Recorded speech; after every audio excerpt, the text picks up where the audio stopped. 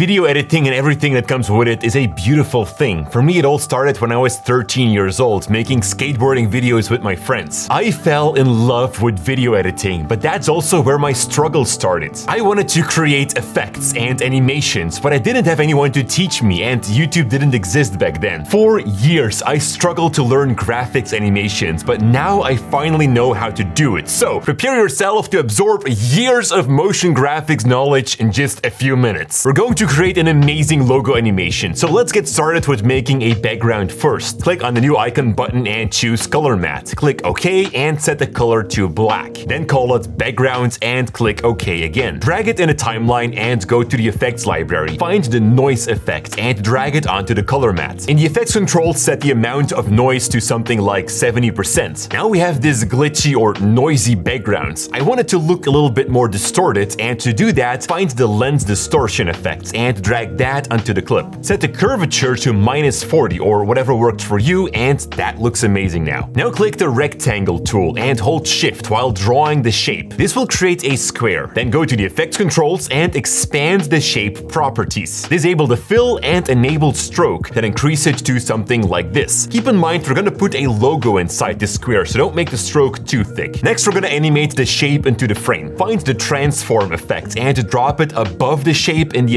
controls. Otherwise it won't work. Now move the playhead further in time and set a position and rotation keyframe. Then set the playhead to the beginning and move the shape out of the frame. Also animate the rotation property to make the logo tumble in the center. And make sure that you right click the last keyframes and choose ease in. Now expand the properties and pull the levers to create a curve like this. The animation will follow this curve and the higher it is, the faster it goes. So with this curve, the shape will go in very fast and then end slowly. This is something that I didn't know for a very long time when I started editing my skateboarding clips. All the animations were hard and linear, so you can imagine when I found out about the animation curve, it just blew my mind. And of course, also increase the shutter angle to give it some motion blur. Alright, now fasten your seatbelts because now we're going to turn the shape into a 3D animation. Now find the basic 3D effect and drag it onto the clip. Set a swivel keyframe and move a bit further in time. Increase it to make it rotate a few times. Then set the first keyframe to ease out and the last one to ease in. Again, play with the animation curve if you like so. Now with movement comes motion blur, but the basic 3D effect doesn't have that option. So we're going to create that ourselves. Find the directional blur effect in the library and drop it onto the shape. Move the playhead to the middle of the animation and set the blur length to 40. Then set a keyframe. Of course, set the direction to 90 degrees. Move the playhead to the start of the swivel animation and set the blur length to 0. Do the same for the end of the animation, of course. Then ease all the keyframes like we did before and adjust the animation curve so that the movement of the motion blur matches with the movement of the rotation. Alright, that is looking amazing already, but you know what makes the animation 10 times better? Sound effects. While on Audiio, the sponsor of today's video, you can browse through endless sound effects such as swooshes and transitions. Actually, let me download these and keep them aside for when the animation is done. You know, from car sounds to gunshots, you name it. Audiio takes care about copyright and licensing, so you don't have to worry about a single thing. And of course, if you need some music, you can use the broad filters like mood, genre, instruments, theme, BPM, and so much more. This will help you find the exact track that you need for your productions in no time. Actually, all the music and sound effects used in this video are from Audiio. They are the cheapest solution to the best quality music out there. That is why I use it and also recommend it to you guys. And they're also working on a mobile app which comes out later, which you can use to search music, create playlists, and even download on the go. Super useful for when you're working on set and you're trying to find a vibe for the video. But that's for later. Right now, if you want to step up your game as a video editor or VFX artist, then go download some sound effects and very good music from Audiio right now by clicking the link in the description down below. And now let's continue with the animation. It's time to place our logo in this square, so drag it in the timeline and head over to the effects controls. Adjust the scale and position. Awesome, now I want the logo to be white, and to do that, find the tint effect and drag it onto the clip. Set the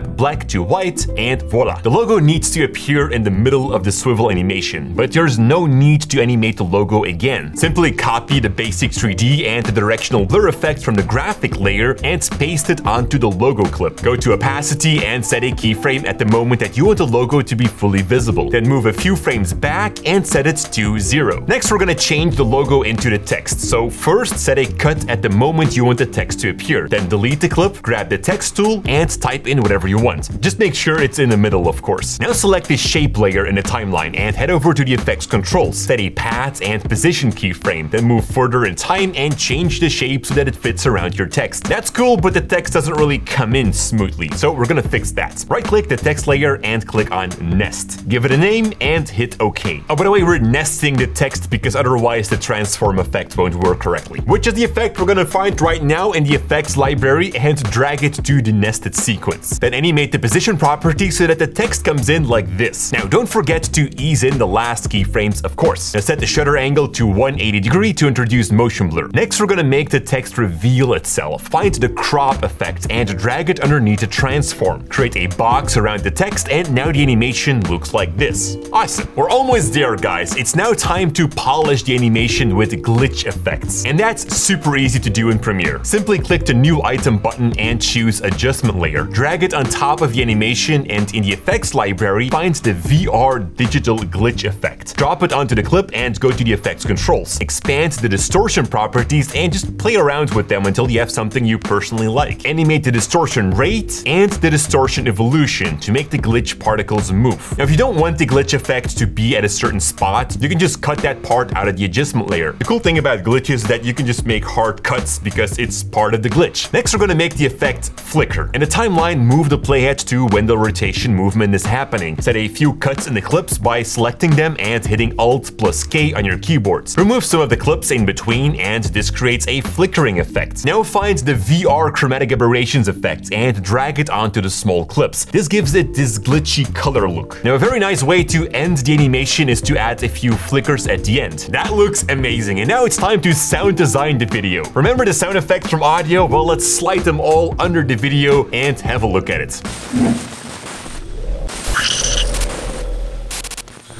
So what I had to work for for years, you just learned in a few minutes, but that's not all. If you combine this knowledge with the tricks here on my left, you will take your edits to the next level. Thank you so much for watching, and as always, stay creative.